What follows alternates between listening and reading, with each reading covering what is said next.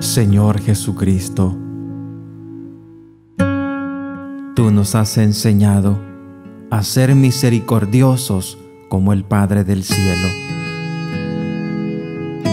Y nos has dicho que quien te ve, lo ve también a Él.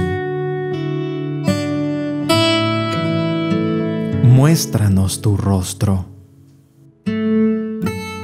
y obtendremos la salvación.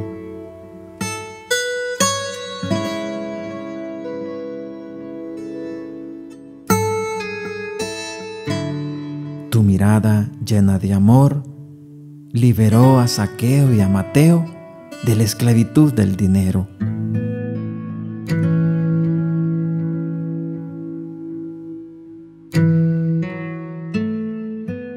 A la adúltera y a la Magdalena de buscar la felicidad solamente en una criatura. Hizo llorar a Pedro luego de la traición y aseguró el paraíso al ladrón arrepentido. Haz que cada uno de nosotros escuche como propia la palabra que dijiste a la samaritana. Si conocieras el don de Dios.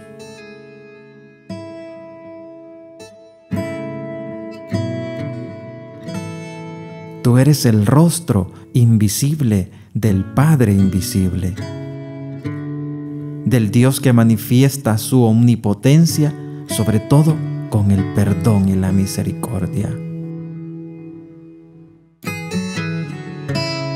Haz que en el mundo la iglesia sea el rostro visible de ti, su Señor resucitado y glorioso.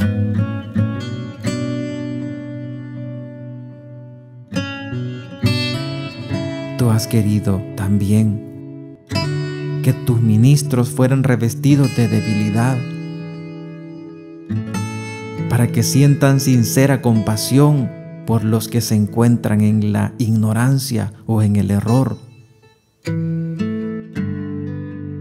Haz que quien se acerque a uno de ellos se sienta esperado, amado y perdonado por Dios.